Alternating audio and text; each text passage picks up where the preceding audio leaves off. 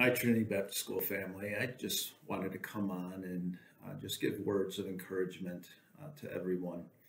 Uh, it's a unique time that we're dealing with, and I know that our students are missing one another.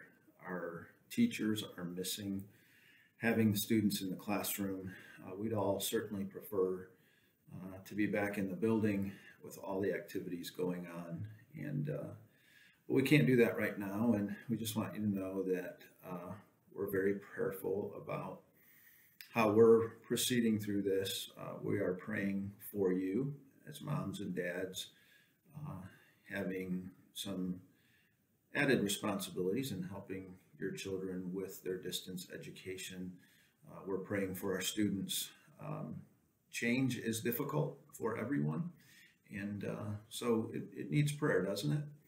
But the other thing I wanted to do is just take a few moments to uh, give you encouragement as to uh, maybe even some helps with the distance education thing.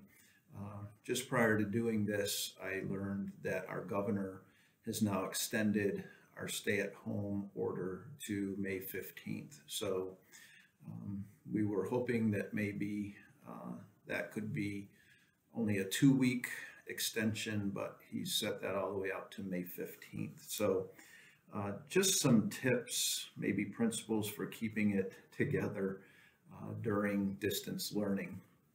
And um, some of these uh, ideas I got after listening to a podcast from the American Association of Christian Schools. Uh, we are a member of that national organization. Um, as being from Christian Schools of Vermont, also New England Association of Christian Schools.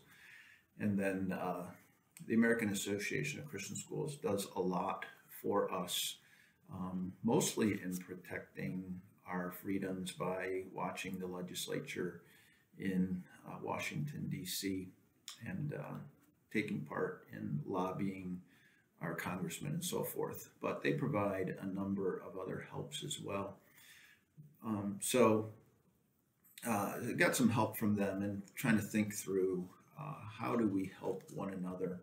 And uh, the first tip, the first principle is to just extend grace. I remember when I would go to my dad for help in math when I was a young high school student.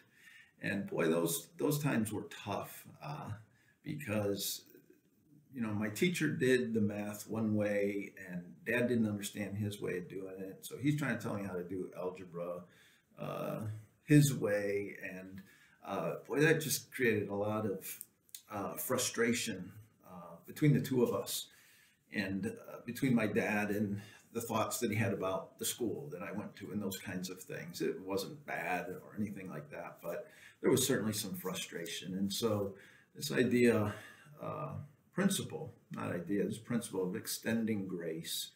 Uh, extend grace to yourself during this time. Um, don't get overly frustrated. Um, just realize this is a new endeavor and uh, there'll be an adjustment period with it and uh, give yourself a break. Uh, extend grace to your children. There's going to be some frustration, how to figure out how to do things. Um, again, teacher says uh, it should be done this way. Parents trying to, even though uh, I think our instructions have been pretty clear, uh, it's it's not easy to read instructions and extending grace in that way. Uh, extend grace to your children.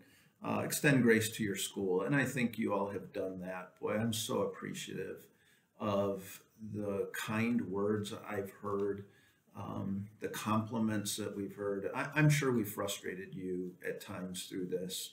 Um, and, and if that is a significant thing, uh, let me know. Call me, talk to me, email me. Um, but for the most part, uh, we all are taking on some added responsibilities. Uh, there's a lot of pressure. Uh, the things that teachers are doing are extremely time consuming, and I know you appreciate that.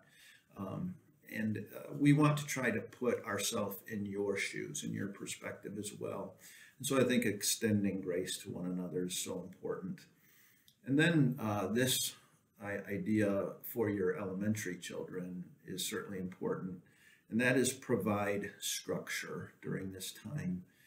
Um, children need structure, and for the most part, they strive uh, under structure. And so uh, the elementary teachers have taught lessons on video, and they have the packets with the work and um, try to provide some scheduling with that, some structure. It's going to have to be flexible. We, we know that, especially with families where both mom and dad are working. Uh, but try to have a daily schedule with it uh, and some structure with their learning. Uh, this will help your family. This will help you. But again, uh, keep in mind there needs to be some flexibility with that. So have a routine with how they do their, their distance learning. Um, and this is important. Within that schedule, take breaks. The younger the children are, uh, the more important that is. Remember, at school they have recess. And so uh, they ought to have breaks and they ought to have recess with their uh, home education as well. And then uh, number three, find a way to keep your kids connected in their other relationships. So uh, remember, they haven't been around their school friends for weeks, and uh, that's important to them. So take advantage of the technology. Um, maybe they can FaceTime their friends, um, find ways, uh, maybe phone calls, letters, um, where they can just keep in touch with their friends. And this is very, very important. And I'm sure you know this, I'm sure you realize this, but stay connected with your church. And uh, I think all of our churches um, in the area where our uh, parents uh, are, are, attending or members have some kind of uh, live streaming services.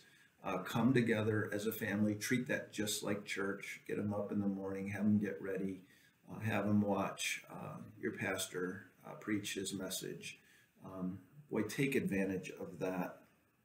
And um, then have your own uh, quiet time together as a family. Uh, have time where you're praying together, reading the Word of God together. Um, and uh, I would add this uh, take advantage of the fact that people are concerned about things um, some concerned in a very big way. This is really uh, a time where it's just a wonderful opportunity to share the gospel. I don't want to make this video too long, but uh, let me try to do this briefly. Uh, my wife uh, had a phone appointment.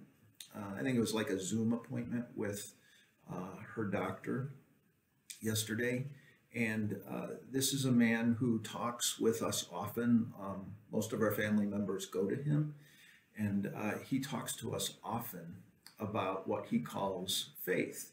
And um, he was asking uh, my wife questions. He is uh, Jewish by birth, but he's not a practicing Jew. And he will tell you he's agnostic.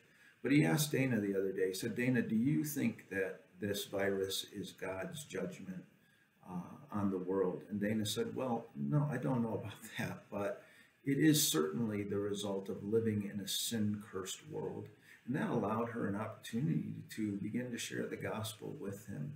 And at the end of that conversation, he said something like this. I'm sure I'm not quoting it uh, directly or exactly, but he said, You know, Dana, I'm surrounded by people of faith, but there's something different about you. You actually believe it, you actually practice it. And he said, I just want you to know I've been comforted by our conversation. Wow, we're just praying that the Lord will use that. Folks, uh, you're going to run into people like that uh, at this time. There's a lot of fear out there uh, about this, and use it as an opportunity to, to speak into their spiritual life and to speak the truth of the gospel to them. And then uh, the last tip should seem uh, very practical, and that is just just get outdoors as a family. I understand we have to to keep the the distance. Uh, that's important. Don't put your family at risk. But isn't outside in the fresh air uh, one of the best places we can be. So take your family on a walk where it's not going to be crowded. Uh, take them on a hike. Throw the bikes in the, the back of the van. Go to an empty parking lot for a bike ride.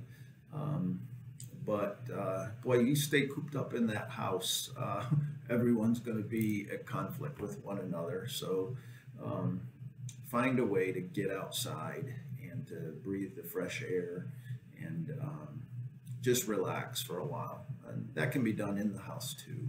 Let's just spend time together as a family. I hope this helps. And uh, just want you to know we love you. Uh, we are praying for you. Uh, we're in this together. And um, we're going to do the best we can to educate our children from a distance. And again, if I can be a help to you, uh, just give me a call. Uh, my number is out there, it's available, my email address. Um, and uh, if nothing else, just uh, words of encouragement, I'm sure are very much appreciated at this time. Well, God bless. Um, and uh, we are praying for you again.